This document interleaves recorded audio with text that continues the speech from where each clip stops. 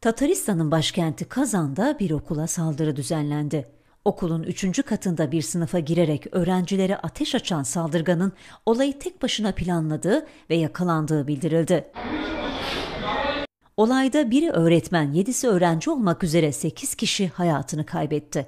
Olayın ardından ülke genelinde yas ilan edildi, bütün okullar tatil edildi. Saldırının ardından 18 çocuk hastanelere sevk edildi.